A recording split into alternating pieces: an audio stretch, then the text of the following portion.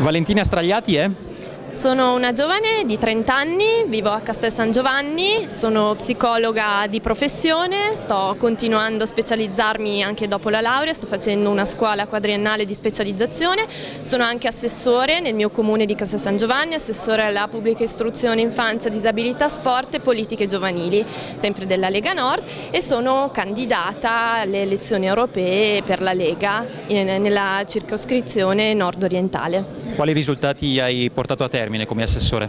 Allora, io sono partita dal presupposto che un buon amministratore non sta chiuso nei palazzi comunali ma sta sul territorio. Sono sempre stata molto vicino alla gente, ho portato a casa dei risultati anche grazie alle persone che ho ascoltato e che mi hanno dato tanti buoni suggerimenti e consigli.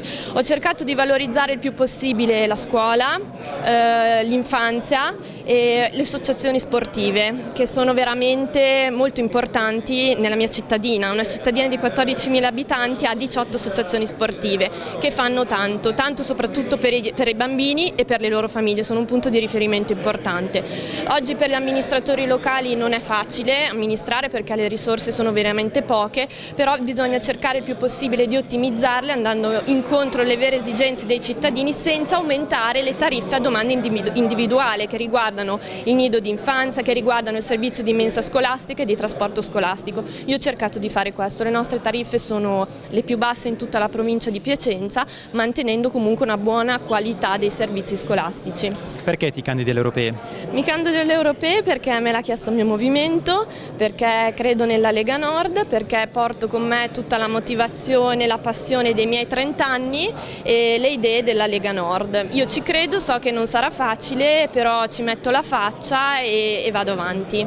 Credo nei valori della Lega, credo che si può uscire dall'euro, che si possa andare contro l'Europa, non l'Europa in sé, ma l'Europa come è strutturata adesso, che è l'Europa dei banchieri, eh, l'Europa dei burocrati, che va ad annichilire tutte le differenze individuali e le tradizioni dei vari paesi, l'Europa che vuole il pensiero unico, come diceva Matteo Salvini, che vuole la moneta unica e che ci ha portato in questa crisi molto grave che stiamo vivendo.